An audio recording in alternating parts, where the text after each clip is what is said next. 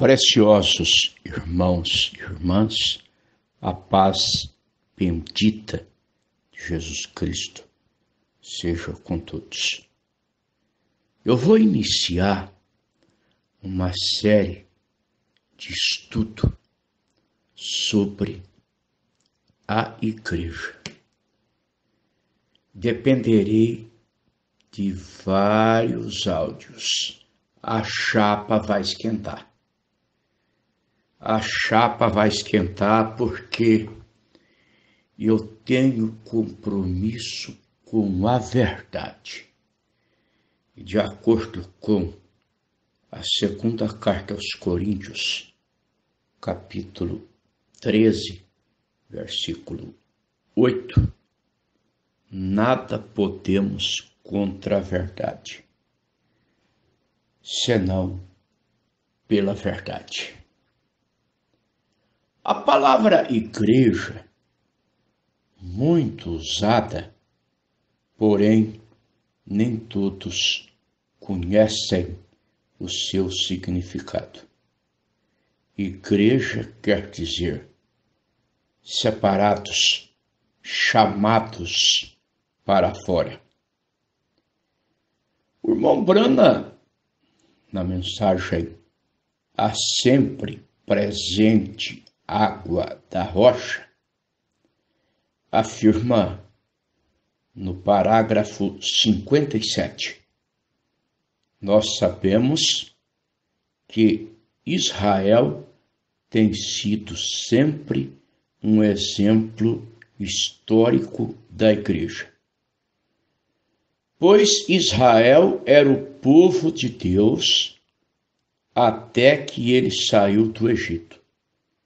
E então ele era a igreja de Deus, porque ele estava separado do resto do mundo. Muito embora no Velho Testamento não se encontra a palavra igreja. Todavia, o irmão Brana refere-se a Israel como igreja devido à saída do Egito. Inclusive, o livro que narra a saída do povo de Deus do Egito é o segundo livro do Pentateuco Êxodo, cujo nome significa saída. Em o Novo Testamento, os evangelistas Mateus, Marcos, Lucas e João, de todos eles, o único que escreveu a palavra igreja foi Mateus. E isso ele o fez três vezes. No seu capítulo 16, versículo 18, quando Jesus Cristo disse a Pedro: Tu és Pedro, e sobre esta pedra edificarei, verbo futuro, a minha igreja.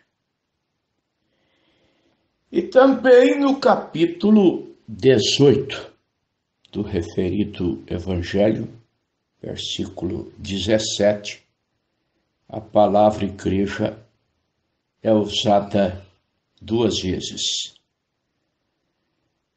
Na verdade, a igreja nasceu no dia de Pentecostes, com o derramamento do Espírito Santo em Atos 2. Essa é, essa deve ser a igreja modelo para nós. O irmão Brana, no livro A Revelação de Jesus Cristo, na página 5, ele disse que a igreja que Jesus reclama como sua tem Marcos capítulo 16 em processo. E conclui: tudo mais é falso. A igreja que não tem as evidências de Marcos, capítulo 16, do versículo 15 ao 20, ela está devendo a Deus. O que está escrito lá? Ide por todo mundo, pregai o evangelho a toda criatura. Quem crer e for batizado será salvo, quem não crer será condenado. E esses sinais seguirão aos que crerem. Em meu nome expulsarão demônios, falarão novas línguas, pegarão em serpentes, se beberdes alguma coisa mortífera, não lhes fará dano algum, e porão as mãos sobre os enfermos e os curarão. Ora, o Senhor, depois de ter dito isso, subiu ao céu e assentou-se à direita de Deus. E eles, os discípulos, tendo partido, pregaram por todas as partes, cooperando o Senhor com eles e confirmando a palavra com os sinais que se seguiam. Pregação tem que ser confirmada com sinais. Evangelho não é retórica, discurso. Evangelho é o poder de Deus. É claro que você verbaliza, você fala, mas a palavra tem que ser confirmada com sinais. Na era de Sardes, parágrafo. Não, não é parágrafo. Na verdade, é página 222. Ouçamos o que diz o irmão Brana. Quando Jesus foi embora, ele disse a seus discípulos para que permanecessem até o Pentecostes, em cuja ocasião o mesmo Espírito que estava sobre ele voltaria e cairia sobre eles e os encheria. Então, aquele corpo chamado para fora, a igreja, estaria em seu lugar sobre a terra, tomando seu lugar.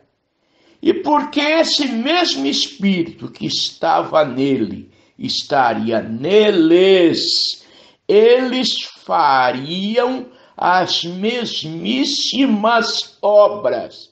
E qualquer povo que seja verdadeiramente o corpo de Jesus Cristo, a verdadeira igreja, manifestará as mesmas obras que Jesus e a igreja pentecostal fizeram, porque o mesmo Espírito estará neles.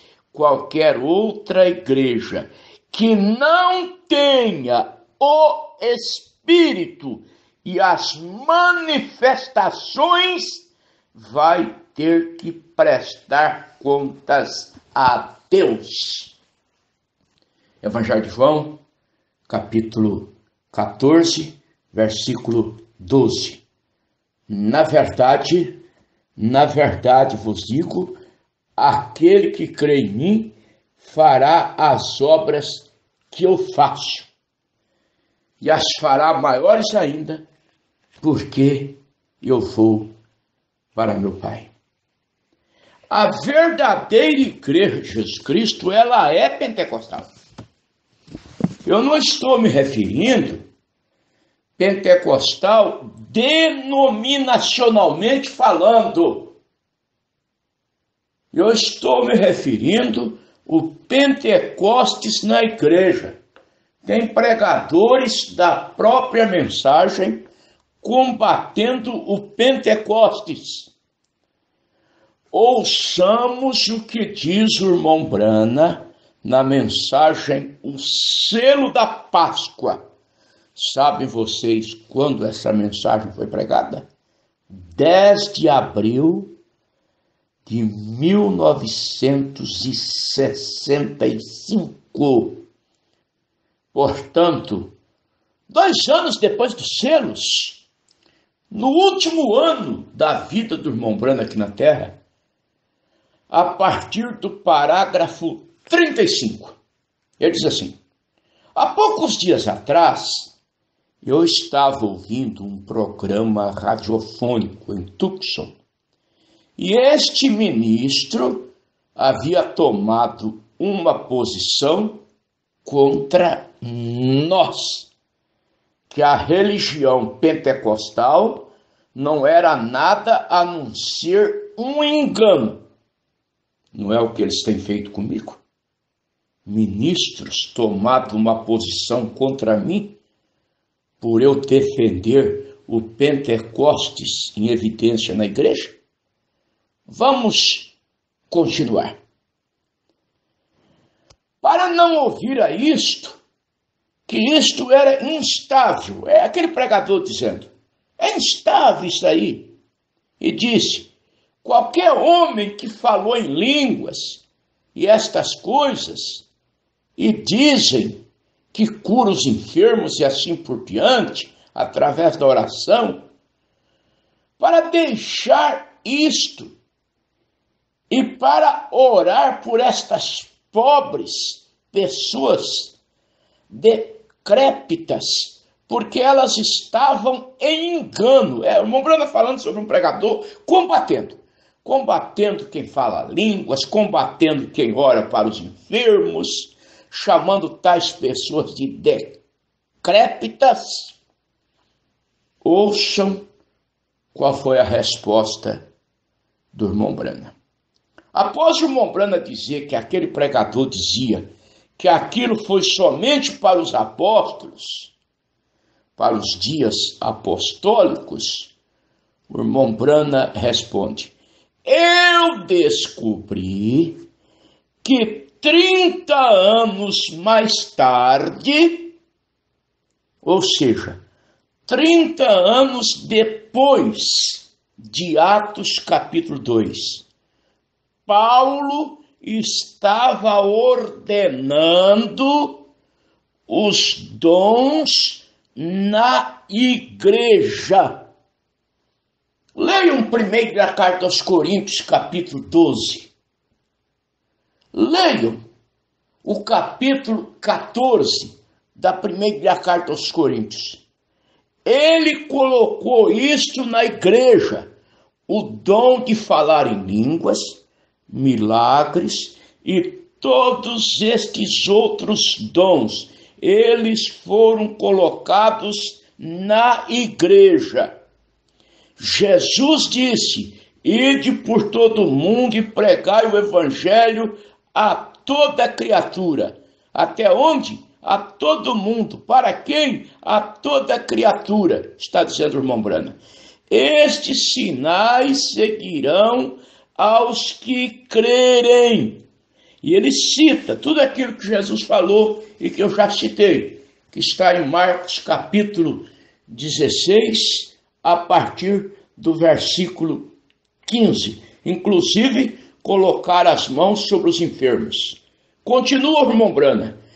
Paulo ordenou estes dons para a igreja 30 anos mais tarde.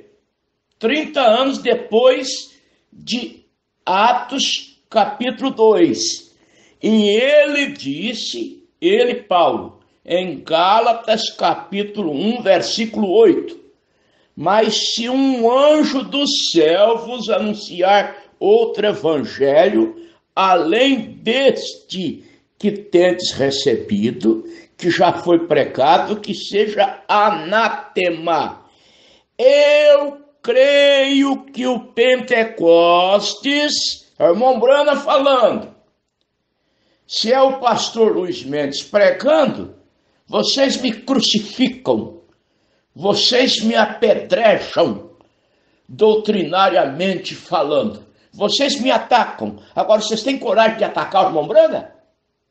Vocês têm coragem de falar que o irmão Brana está com bagagem pentecostal, denominacionalmente falando? Eu estou citando o parágrafo 40 da mensagem O Selo da Páscoa. Eu creio que o Pentecostes começou sem um fim.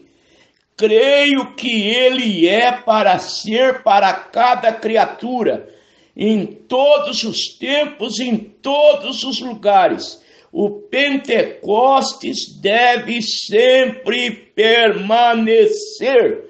As bênçãos pentecostais devem estar sobre o povo.